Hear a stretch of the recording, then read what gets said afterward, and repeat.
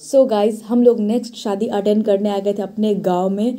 मेरे गाँव जहाँ पे मेरे दादा दादी सारे लोग रहते और मेरे बड़े पापा की, बेटे की शादी थी।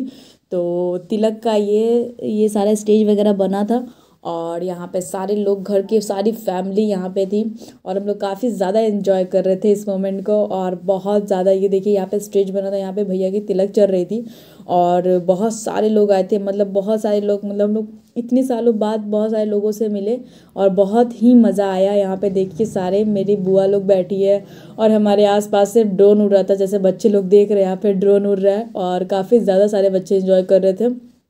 और हम लोग भी हम लोगों ने भी बहुत सारा इन्जॉय किया। तो आप लोग यूँ ही बस वीडियो को इन्जॉय कीजिए। और यहाँ पे ऑर्केस्ट्रा वगैरह भी था तो आप लोग भी इन्जॉय कीजिए काफ़ी ज़्यादा। और इतनी ठंड थी कि सारे लोग सॉल वगैरह ओढ़ के बैठे थे तो यहाँ पे हम लोग बहुत ज़्यादा इन्जॉय किए। तो आप लोग भी इस वीडियो में यूँ ही बने रहे।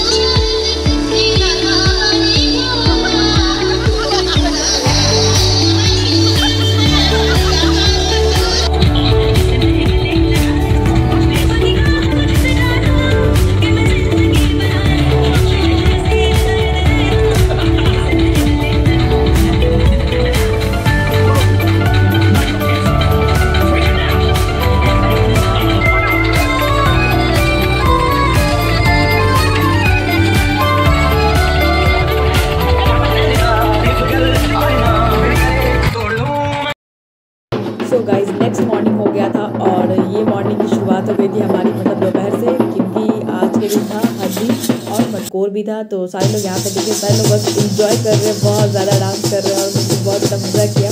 बिकॉज़ और ये हमारा छोटा सा प्यारा सा गाँव है, आप लोग भी थोड़ा थोड़ा लोकेशन देख लो बिकॉज़ पूरा गाँव घुमा पाता है पॉसिबल नहीं हो पाता है तो बस आप लोग भी देखते जाओ। यहाँ से सारे लोग दीदी वीदी सारे लोग डांस कर रहे हैं, बहुत इंजॉय कर रहे हैं।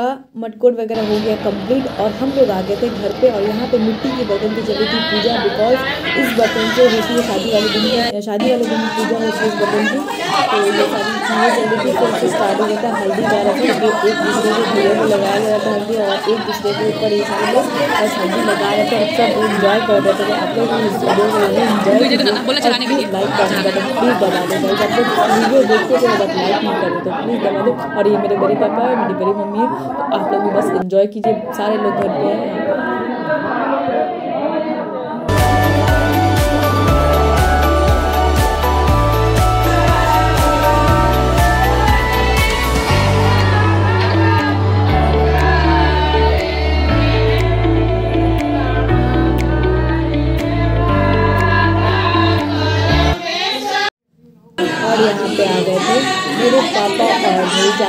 पूरा हल्दी से पूरा रंग उनका पूरा हालत खराब हो गया था वहाँ से निकल गए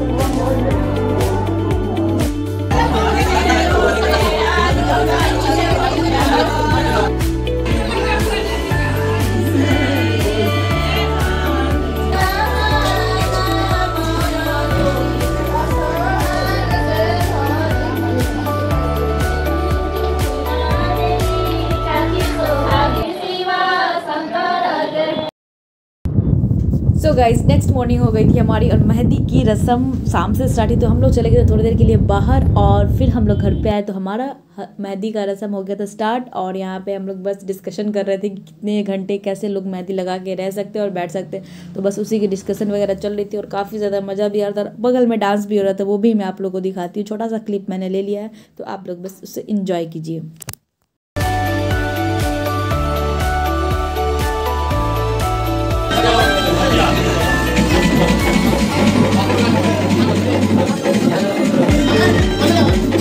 Come.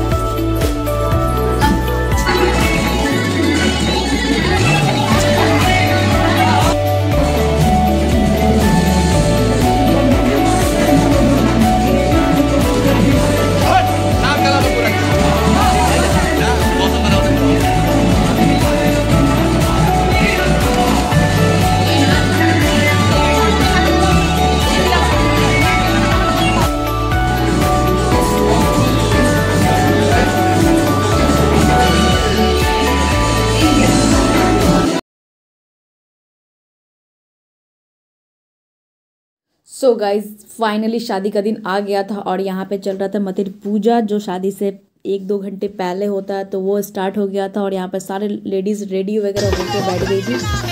पूजा चल रहा था और बारात निकलने की तैयारी थी जो हम लोग फटाफट रेडी होने के लिए चले गए थे, बस और यहाँ पर बारात निकल चुके हैं और यहाँ पे ऑर्केस्ट्रा भी तो आप लोग इस वीडियो को यूँ इन्जॉय कीजिए।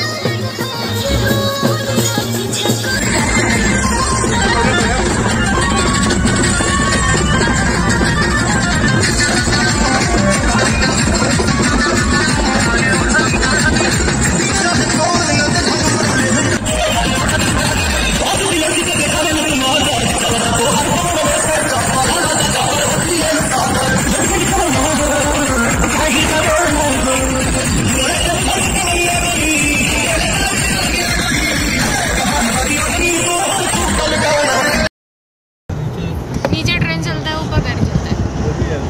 सो गाइस हमारी बारात वगैरह गाँव से निकल गई थी और हम लोग भी निकल गए थे पटना के लिए बिकॉज़ यही है ना? लेके जाना था नहीं, हम लोग को ये बारात और बहुत ही लंबा सफ़र था बट हम लोगों ने भी बहुत ज़्यादा इंजॉय किया। और बस सबको यही टेंशन था कि बस जैम बहुत ज़्यादा जैम होता है बहुत ज़्यादा क्राउड क्राउड जगह है तो बहुत ज़्यादा जैम होता है। हम लोग निकल गए थे और मैं सो भी गई थी बस छोटा छोटा मैंने क्लिप ले लिया आप लोगों को भी आप लोग इंजॉय कीजिए और हम लोग ऐसे गए थे बारात के भाभी के घर पे आप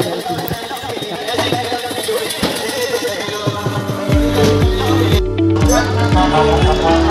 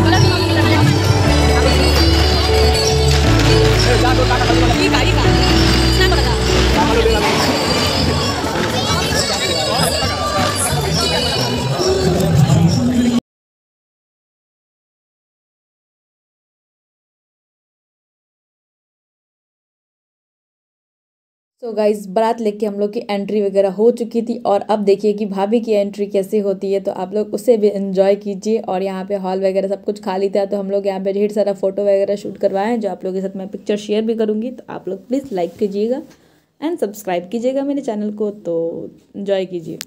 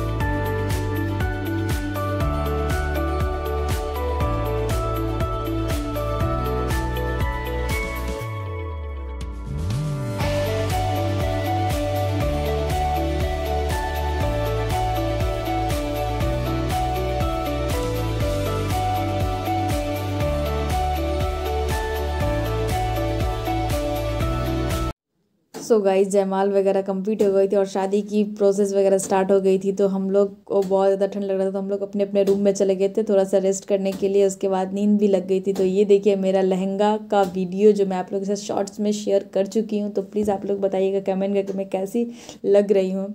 और भी एक वेडिंग का वीडियो है जो मैं आप लोगों के साथ शेयर करूँगी और उस पर कुछ कुछ बातें हैं जो करनी ज़रूरी है तो उसके लिए थोड़ा सा टाइम चाहिए मुझे तो आप लोग प्लीज़ बताइएगा कि आप लोग को ये वीडियो कैसा लगा और लाइक कीजिएगा सब्सक्राइब कीजिएगा मेरे चैनल को। और देखिए भैया भाभी के छोटा छोटा पिक्चर जो मैंने लिया था, आप लोग के साथ मैं शेयर कर दे रही हूँ। शादी के बाद बहुत कुछ चीज़ें बदल जाती है गाइस तीन तीन शादी अटेंड करके पता चल गया है कि कितनी सारी जिम्मेदारियाँ होती है। घर वालों की भी तरफ़ से होती है और जिनकी शादी होती है, उनकी तरफ़ से। तो मिलते हैं नेक्स्ट तो गाइज़ मिलते हैं नेक्स्ट वीडियो में और मस्त मस्त वीडियो आने वाला है बिकॉज़ मैं अभी भी गाँव में ही हूँ तो आप लोग के लिए